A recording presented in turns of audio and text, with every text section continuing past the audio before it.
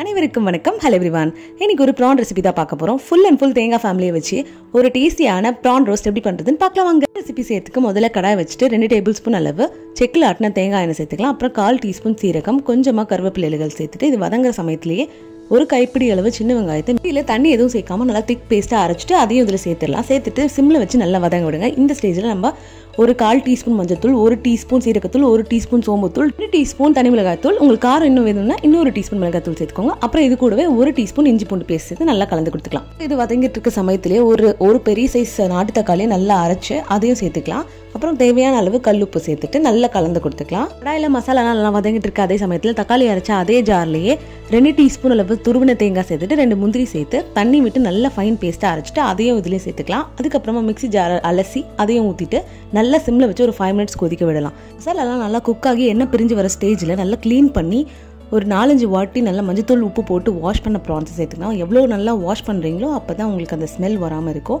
நல்லா மிக்ஸ் பண்ணிவிட்டு ஹையில் ஒரு ஃபைவ் மினிட்ஸ் அப்படியே வச்சுக்கலாம். இப்போ கடைசியாக ஒரு அரை டீஸ்பூன் காஷ்மீர் மிளகாய் தூள் சேர்த்துக்கிறேன். எதுக்குன்னா கலருக்காக தான் நல்லா சுருண்டு வரும். ஒரு ஃபைவ் மினிட்ஸ்லேயே ஹையில் வச்சுருந்தீங்கன்னா நல்லா திக்கான கிரேவியாக வரும். இப்போ கடைசியாக கொஞ்சமாக தேங்காய் பால் ஒரு ஒரு டீஸ்பூன்லேருந்து ரெண்டு டீஸ்பூன் தேங்காய் பால் சேர்த்துட்டு நல்லா மிக்ஸ் பண்ணிவிட்டு கடைசியாக குட்டி குட்டியாக சாப்பிட்ட கொத்தமல்லி இலைகளையும் தூவிட்டு சர்வ் பண்ண வேண்டியதான் இந்த தேங்காய் எண்ணெய் தேங்காய் பால் தேங்காய் எல்லாமே சேர்ந்து அந்த ப்ரான்ஸோட பிளெண்ட் ஆகி ஒரு வித்தியாசமான ஃப்ளேவரில் இருக்கும். ட்ரை பண்ணி பாருங்கள் தேங்க்ஸ் ஃபார் வாட்சிங்